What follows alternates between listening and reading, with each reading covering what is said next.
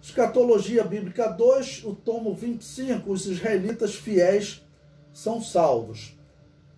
Bom, vamos ler Apocalipse capítulo 7, do versículo 1 até o versículo 8.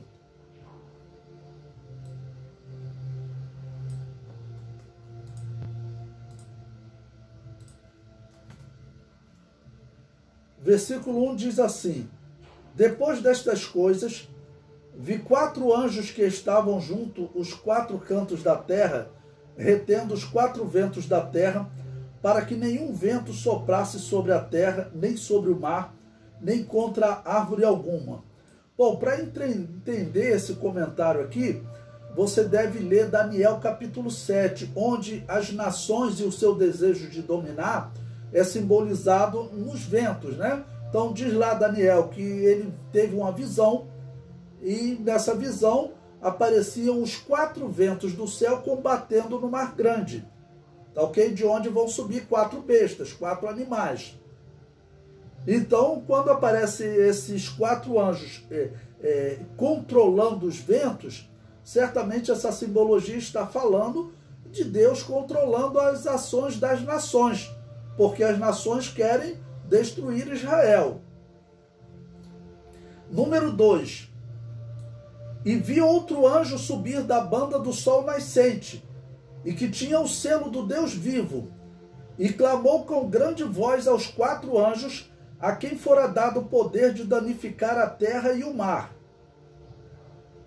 dizendo: Não danifiques a terra, nem o mar, nem as árvores, até que hajamos assinalado na testa os servos do nosso Deus. E ouvi o número dos assinalados, e eram 144 mil assinalados de todas as tribos dos filhos de Israel. Então, observe que eh, essa é, revelação que João recebe no Apocalipse é uma revelação é, dirigida a Israel.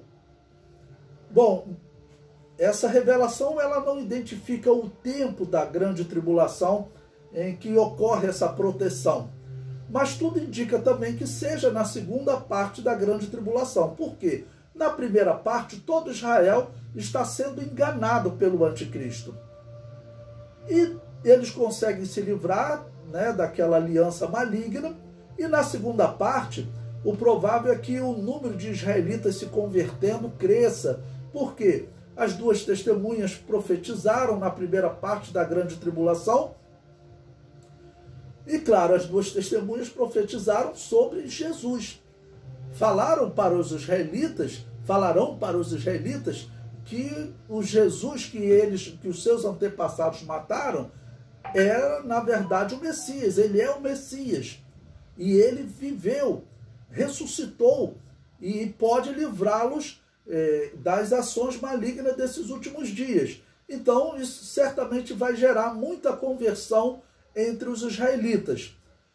Na segunda parte é que essas conversões devem crescer, porque na metade da grande tribulação a aliança foi rompida, tudo indica que as duas testemunhas têm uma participação importante no rompimento dessa aliança, porque elas profetizam por três anos e meio eh, se elas começaram a profetizar na primeira parte da grande tribulação, como o Apocalipse 11 indica, né?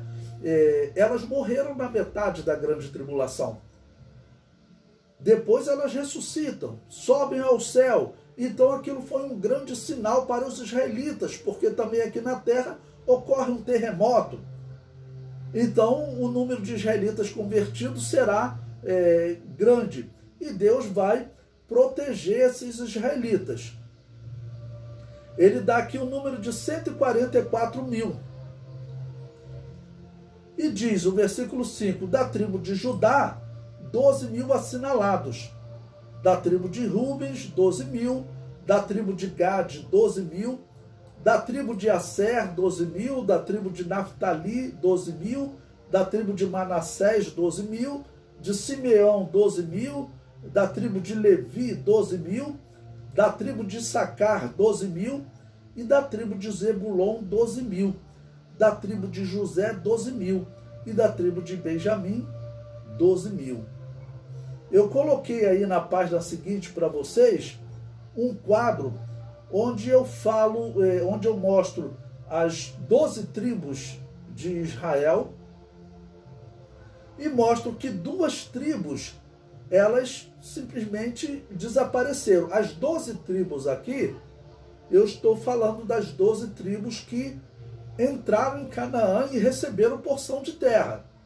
Tá ok? Dan recebeu uma porção de terra. Mas ela não aparece, a tribo de Dan não aparece aqui no Apocalipse. A tribo de Efraim também recebeu uma porção de terra, excelente, porque Josué era da tribo de Efraim. Mas Efraim também não aparece aqui no Apocalipse.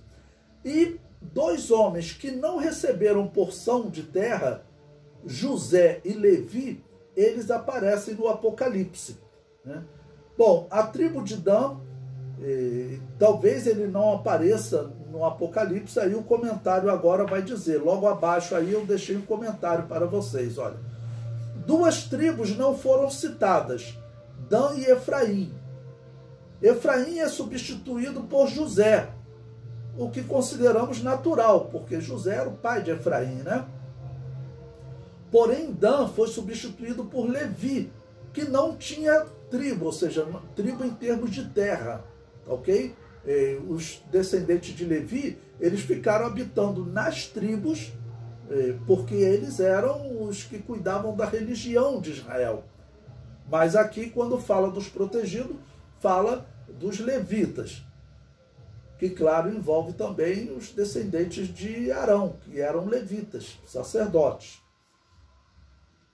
Por que Dan não foi citado? Eu coloco uma pergunta.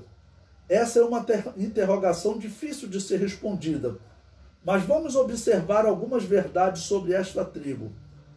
Ela era a segunda maior de Israel, você pode ler lá em Números capítulo 1, versículo 26, 27, 38 e 39, perdendo apenas para Judá, mas mesmo assim recebeu a menor porção de terra. Segundo ponto, recebeu uma porção de terra conforme a sorte, né, foi sorteado, né, junto aos filisteus, e acabou perdendo essa porção de terra e foi para o norte de Israel e conquistou uma cidade chamada Laís. Sansão, ele era da tribo de Dan, e ele lutou contra os filisteus exatamente porque os filisteus oprimiam é, os israelitas e a primeira região, como Dan ficava é, na fronteira com os filisteus, a primeira região era da tribo de Dan. E eles acabaram perdendo essa terra para os filisteus. Por fim, acreditamos que Dan não recebeu o selo da proteção, porque na profecia de Jacó ele é comparado a uma serpente. E o anticristo provavelmente seria dessa tribo. É uma possibilidade, né? Nós não temos como afirmar.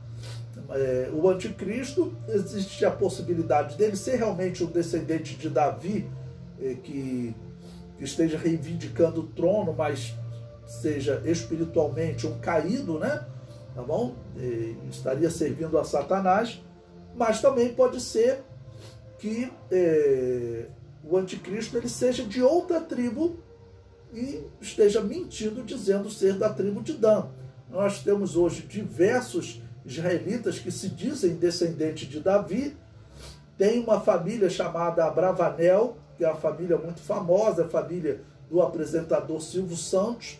Ele é dessa família Abravanel. E desde o século 13 da era cristã, eles começaram a se dizer descendente de Davi. E como existe outros rabinos também, existe um rabino cabalista que se diz descendente de Davi, e ele já ameaçou até matar o primeiro-ministro de Israel pelos poderes da cabala, é um feiticeiro. Então, nós não temos certeza sobre o anticristo, mas existe a possibilidade dele ser da tribo de Dan e mentir dizendo ser da tribo de Davi é, da tribo de Judá e descendente de Davi para poder assumir o trono. Né? São possibilidades que nós não temos como ter certeza.